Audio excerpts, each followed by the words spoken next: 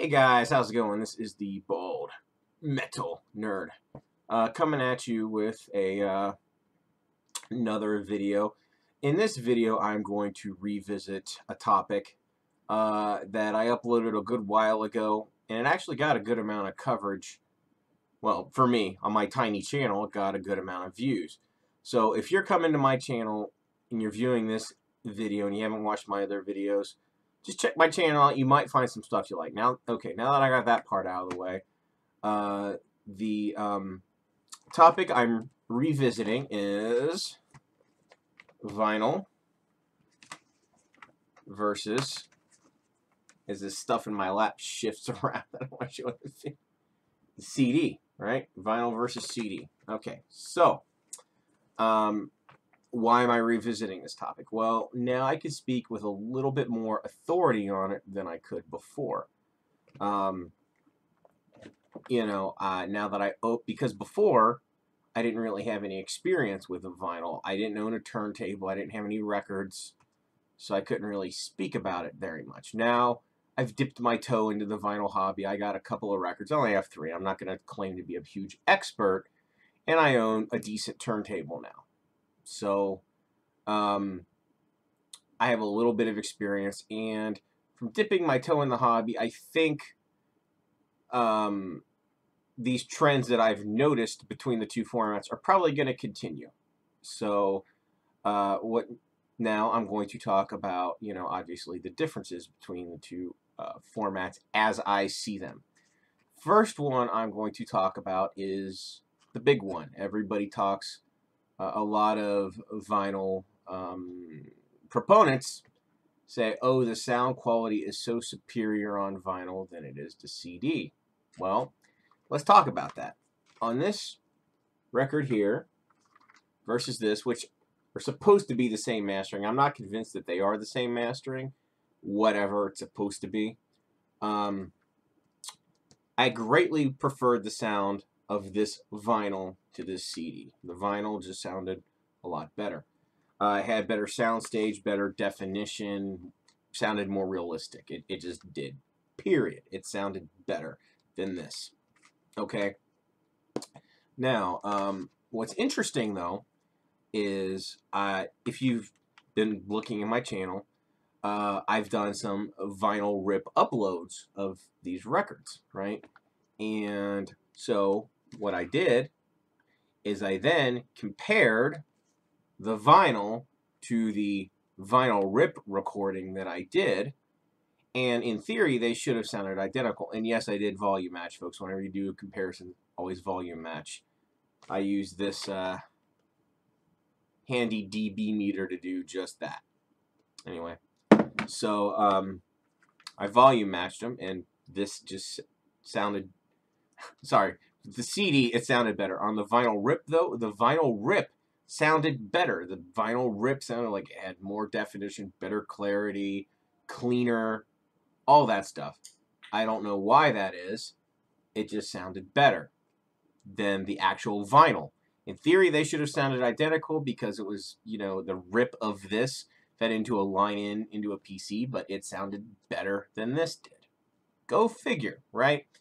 Uh, so I also then compared it to uh, basically the YouTube video that I uploaded uh, because when uh, you make the video in you know like Windows Movie Maker or whatever, it'll compress the the uh, sound down. It won't be an uncompressed wave anymore. It compresses the sound down, probably to WMA or whatever, and it inserts it into the video. And then, of course, you upload it to YouTube, and then it does further compression with their algorithms and all that, blah, blah, blah. So then I compared this versus the YouTube video. And I preferred the sound of this by some. It wasn't a huge, it wasn't as big of a difference as one would think. But I did prefer the sound of the vinyl over the YouTube video uh, by a little bit. So there's that. Now, there's that album. Now, let's talk about, balance that. We don't want it to fall down. Now we're going to talk about this album here. I specifically bought this CD and uh, I can show it, right? I specifically bought this CD and this vinyl because I knew for a fact these are both the 2016 remastering of Ride the Lightning. They're identical as far as mastering goes. So I was like, okay, let's do, I wanted to do an apples to apples comparison instead of apples to orange. You want it to be the same mastering, that way you know what you're getting, right? So I paired these off against each other. And the thing was, on uh, this versus this, on some tracks I preferred the CD. On some tracks I preferred the vinyl. There was not really a clear winner between these two uh, releases here. There, sound quality wise, there just there wasn't. It was some sometimes this sounded better, sometimes this sounded better. Whatever, right? So then I of course compared this versus the vinyl rip. And again, I preferred the vinyl rip. Better sound quality in the actual vinyl rip than when I was actually listening to the vinyl.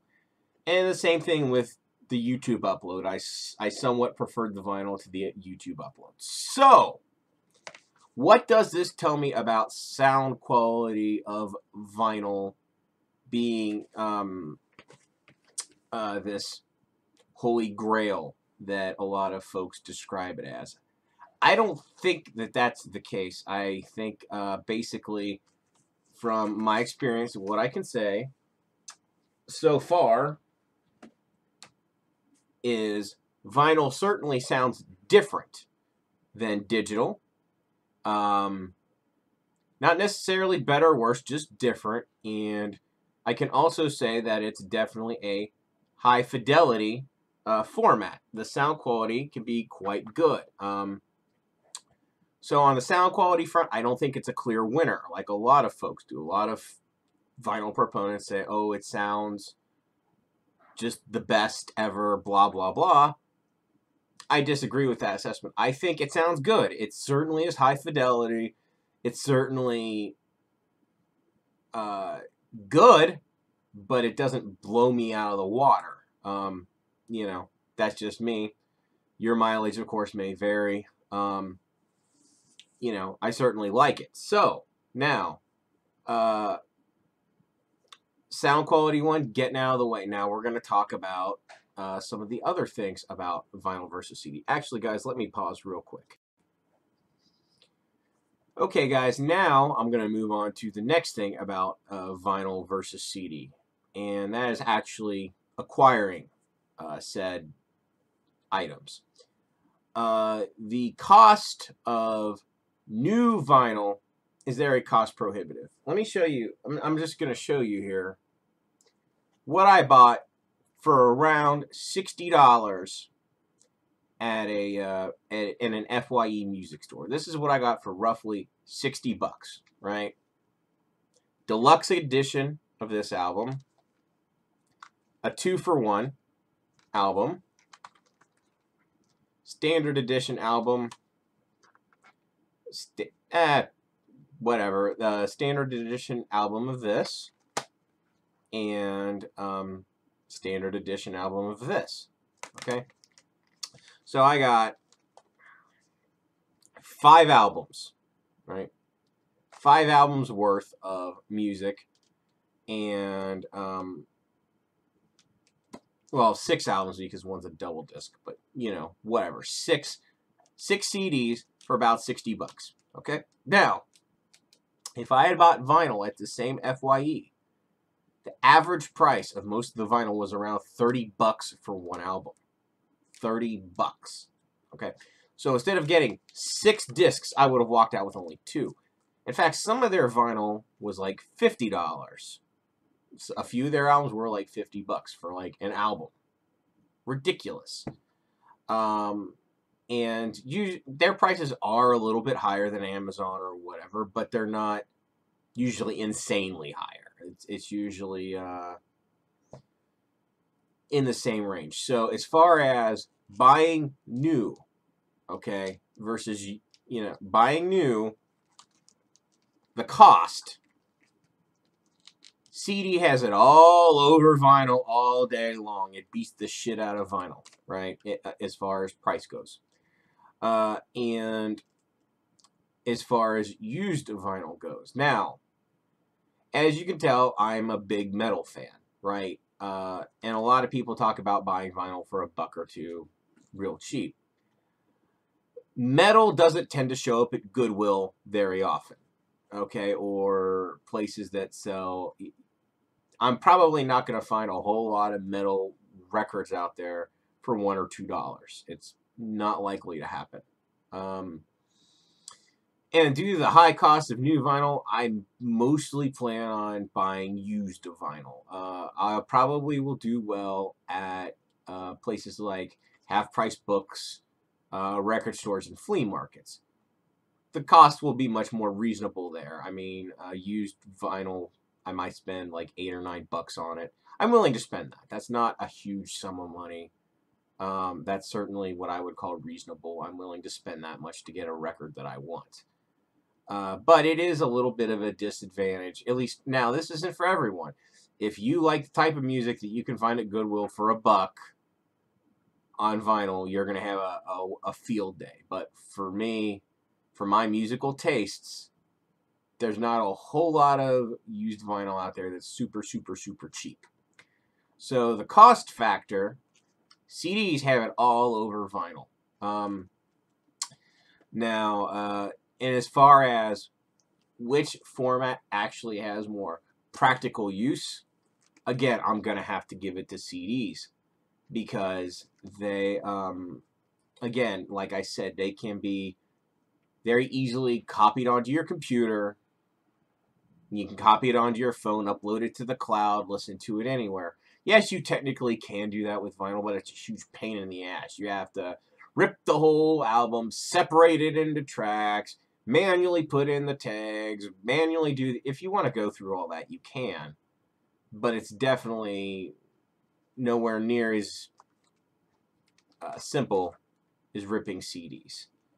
So, um, and again, on the sound quality thing, one thing else I noticed is I think with CDs, the sound quality is much more consistent.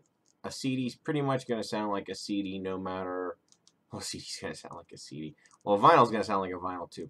Basically, um, it's going to sound exactly the same on every single playback. There won't be any variance in the sound quality unless it's skipping or whatever. But aside from that, digital is always going to sound the same every single time. It's not going to vary in sound quality.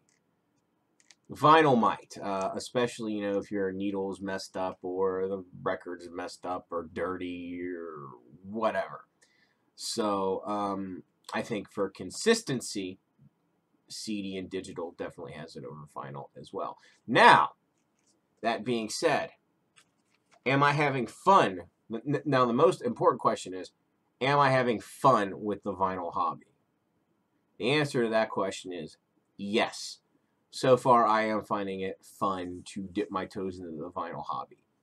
Um, and I think it's, if you are a person who enjoys collecting music, it's probably worth your while to at least investigate vinyl.